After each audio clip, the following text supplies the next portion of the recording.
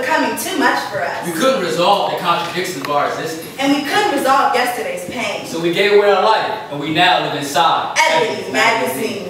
Yes, we live inside a world where everyone is beautiful and wears fabulous clothes. And no one says anything profound or meaningful. or contradictory. Because no one talks. Everyone just smiles. It shows off their cheekbones. Last month I was black and fabulous holding up a bottle of vodka. This month we get to be black and fabulous together.